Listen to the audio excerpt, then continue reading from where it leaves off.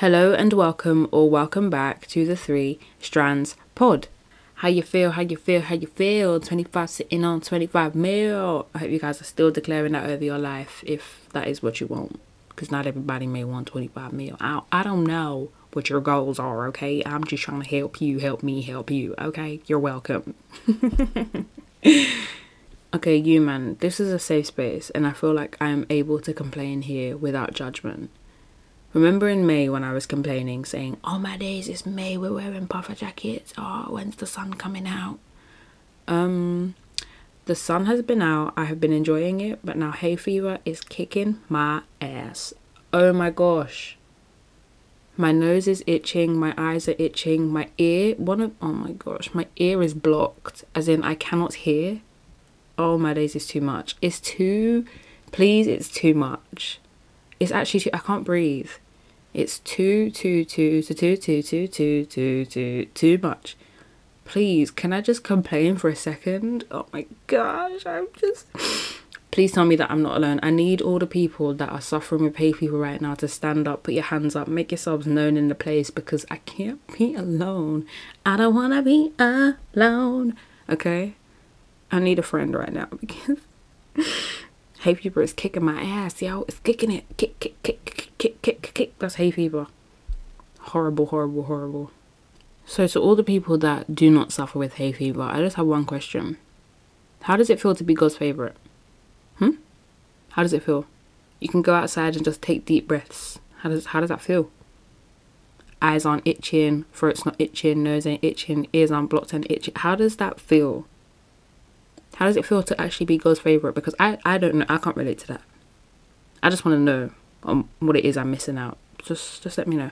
How does it feel to be God's favorite? How does it feel to know that God chose you as His chosen one? God chose you to be His favorite over me.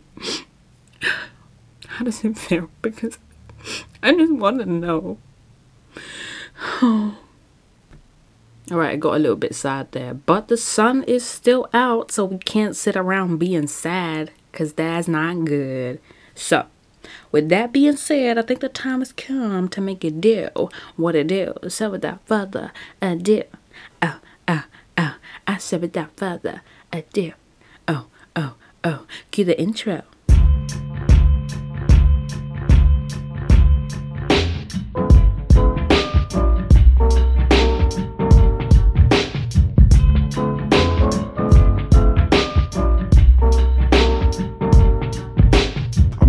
Something years of age, and life surely ain't about handouts. So I lays my plan out. Hard work is living catered to an art course survival. Consider John's lesson from conception to arrival. Now that I'm here, my fears shall decrease. Learning about life, making my way to the east. From four square yard struggler, the G's on time. Yo, God, hit me with that rhyme. I just have one question for you, man. Where are all the black hairstylists? Where are they? Where they at, though? Where they at, though? You guys may be wondering, what on earth is she talking about? I'ma tell y'all. Hollywood ain't got no black hairstylists. Okay? And it's a prom. For you, for me, for her, for him, for them, for us. It's a prom. So I'm gonna give you guys the facts and the figures, and y'all can tell me where the black hairstylist at. Cause now, don't. Trina McGee from Boy Meets World says she stayed up all night doing micro braids before appearing on TV the next morning to film as she didn't have a hairdresser. This is absurd. If you man don't know what micro braids are, Google it if you're not familiar. Micro braids. Micro as in small. Yeah? Okay. Micro braids. And she had to go on TV the next morning the average box braids can take you 8, 9, 10, 11 hours. So imagine how long it will take you to do micro braids. And she's not just doing this for the banter, she's literally doing it because there is no one else to do it for her. Tati Gabrielle from The Chilling Adventures of Sabrina shared a time lapsed video of her backstage styling her hair in finger waves and users on her Instagram were surprised and praising her for her talents and being able to do her hair, and then others were sharing their disappointments that she had to do her own hair. One user even wrote, Thank you for continuing to highlight what black women slash femmes slash non-binary people have to endure in the entertainment industry. Even though finger waves is a style that is a lot quicker than micro braids, it's still unacceptable that there was no one to do her hair for her. She did get some help to style her hair in the back, but she shouldn't have been doing her hair at all. Like, she should not have gone backstage to do her own hair.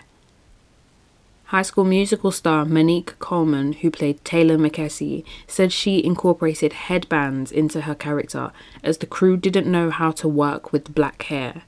And she said that the wardrobe department and Disney were open to her feedback. Now, if you guys go online and look at how Taylor McKessie, the character's hair was styled, the the headband makes sense now. It makes sense. Just yeah. It yeah, just go to Google because yeah. Film and TV producer Keith Calder shared a tweet that reads, Just heard about a film shooting right now. One of the leads is black, and the hair department told him they assumed he would, quote, just take care of yourself with regards to his hair. This is infuriating and a story that's way too common. Now, bear in mind, he's referring to one of the lead characters, not some background character who you will never see on screen, maybe just once in passing. He's talking about a lead character, and he's being told that they just assumed that he would do his own hair, just take care of his hair himself. What is that? The tweet was made in October 2020, so it hasn't even been a complete year, and this is what we're still facing. One Twitter user responded, all offense to white hairstylists, but the fact that they don't know how to do an entire group of people's hair and think they're good at their job is hilarious to me. I personally agree with that because you can't do hair if you can't do hair. There should be no reason why you're sweating when a black person gets into your chair or you're expecting the actor or the model to do their own hair if you are the hairstylist. You need to style this hair. Like, just take a second and deep this with me that there is a hairstylist backstage who is not styling hair. That the models and the actors and the actresses are doing their own hair, but the hairstylist is really just standing there painting her nails. What is that? You are supposed to style the hair. You're not styling hair. You need to style this hair, not me. You need to style it. Model Olivia Anakwe shared an Instagram post about her experience backstage at a fashion show where they were planning to give her cornrows, despite the fact that none of the hairstylists know how to do cornrows. Make it make sense. No, make it actually make sense. She said that she even asked the other models if they would be able to cornrow her hair before the only nail stylist left her role to tend to her hair. She raised the question black hairstylists are required to know how to do everyone's hair. Why does the same not apply to others? again, I think is a very, very valid question because you can't be a hairstylist if you don't know how to style hair. You actually have to specify and say, I'm a white hairstylist because you can't say, I'm a hairstylist, but you don't know how to do hair. Everybody has hair. You don't know how to cut hair, you don't know how to braid hair, you don't know how to twist hair, you say you're a hairstylist. But you didn't style anything though. The models, the actors, the actresses, whoever it is, is doing their own hair, but you're the hairstylist. Or in this situation, the nail stylist is now doing hair but there's a hairstylist in the room. There's more than one. How does this big man thing make it make sense? Because it's not making any kind of a sense right now. Or maybe I'm just not understanding that hairstylists don't actually do hair, that it's the nail stylists that do hair, and then, yeah, the hairstylist is just there for fashion. I don't know. You actually can't call yourself a hairstylist if you don't know how to style or braid black hair, knowing that there are black people on set who need you to do the style and braid their hair. It actually genuinely doesn't make sense. Hairstylists have to know how to style hair. There's no time to be figuring it out when the model is sitting in the chair right now. Brother, it's too late to be playing these kind of games. You're supposed to ask if this particular set has black actors or black models whose hair you need to style because you can't just leave them because you don't know what you're doing, but you're here as a hairstylist. I don't. What is that? Actor Malcolm Barrett tweeted, most black actors get their hair cut or styled outside of set, often at their own expense because Hollywood hairstylists are one size fits all, and that all does not include black hair. This has been my experience for the last 20 years in the business and it hasn't changed at all. How can you actually finally make it to big, big Hollywood and you have to do your own hair? Nah, they're setting you up. It's actually a prank show. Hollywood is actually a prank show. In big, big Hollywood, you are doing your own hair. When you're filming for big, big Hollywood, you still have to go to Gina's beauty shop to go and get your braids done, or go to Desmond's barber shop to get a young fade. Must be joking. Must be joking. Because deep it, they're taking you for a mug. They're actually taking you for a full blown mug. And I'm not talking about you bringing Gina or Desmond to the studio, bringing them to Hollywood and letting them pattern your hair there. No. I'm talking about you have to fork out money. Hollywood is not paying for your hair. You have to pay for your hair. Fam, you're really taking the time out to get your hair done for Hollywood, in Hollywood. But it's not by Hollywood. Nah, you're taking a mic. You're taking a mic. How? No, big man thing, you have to deep it. They're actually taking you for a joke. My queen, the only queen I know, Latifah, spoke about how she decided to do her own hair when filming Living Single, which is my favourite show. If you guys have not seen it, I don't know why you're lacking. Hurry up and watch the show. She said that she had an album out at the same time as the show, and so she decided she's not going to lose her edges over the show. And so she decided to do her own hair. And every hairstyle that she has in the show is done, styled, all of it patterned by her. So big up you, Queen Latifah. I love you forever. That's my dag. So, when black women in the industry have to do their own makeup or their own hair or they have to style themselves, are they receiving all of these glam fees on top of their payment? Because this is a whole other role.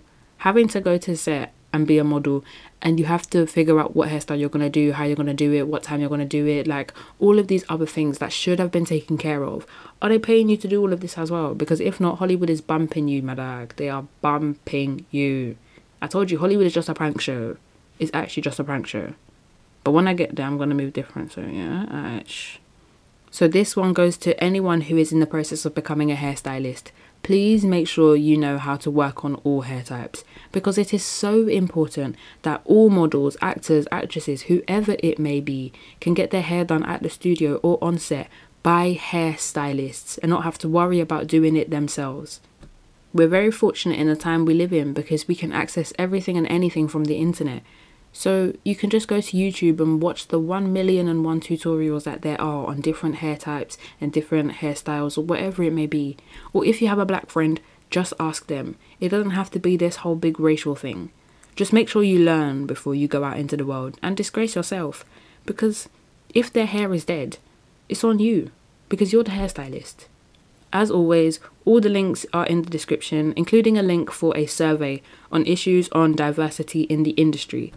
So please fill it out if this is something that you would like to support or that you feel strongly about. And that is it from me for this week. Until next time, peace in the Middle East to you and your crew. What, what? Peace in the Middle East to you and your crew.